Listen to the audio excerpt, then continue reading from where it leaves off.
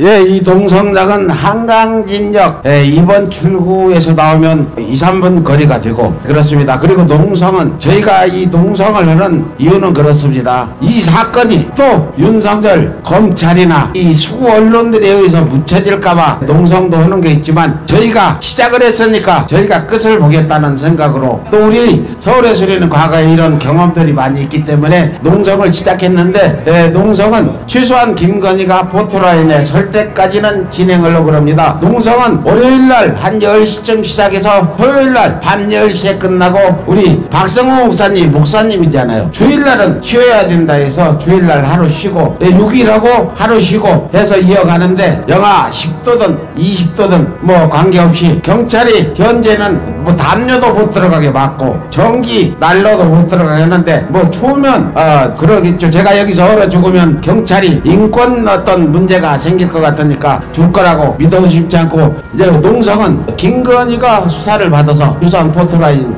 쓰고 압수수색 들어가는 그때까지 할 거라고 말씀드리겠습니다.